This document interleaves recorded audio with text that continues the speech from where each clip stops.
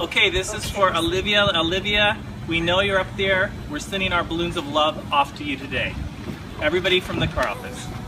Like how a single word can make a heart open. I might only have one match, but I can make an explosion. This is